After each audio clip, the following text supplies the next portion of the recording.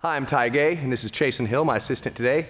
We're in a certified training center for the Gracie family in Oklahoma called Redline Gracie Jiu Jitsu.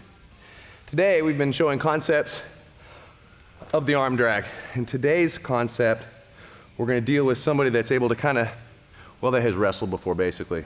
Good wrestlers want to square up with you. What I would like to do is I would like to always try to move to his back or to a single leg, but sometimes he posts on me. First, let's kind of look at the uh, my options here. I would like, in this scenario, to get to here. But instead of stepping his leg back, sometimes people will post on my head to square up. And this is the dilemma that we're kind of dealing with today. We'll demonstrate it once and we'll explain it with a little bit more detail.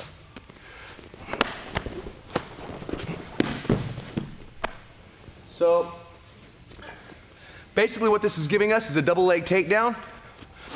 Whenever I arm drag and move, he automatically frames off of my shoulder and my face. So what I've got to do is make sure my foot is in the middle. I pop this elbow up, and I keep a straight line with my hip and my knee, my shoulder. My hands are S-cupping here. I lift, turn, and now I'm in side control. The important detail I think about this move is the timing of when to pop that elbow.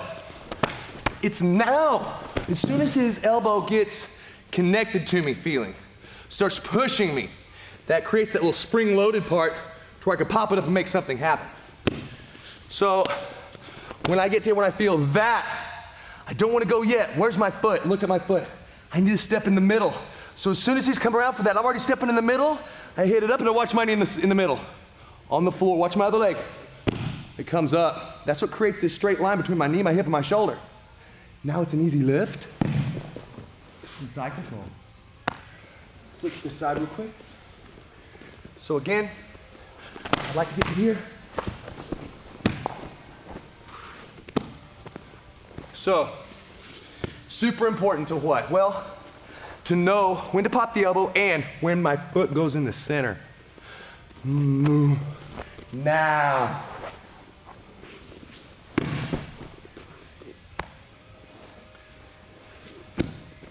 Arm drag stuff is pretty cool.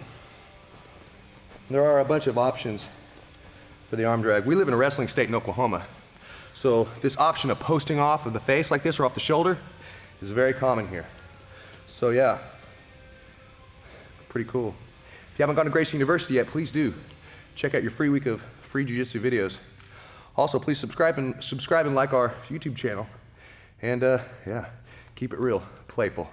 Gracie Jiu-Jitsu for life.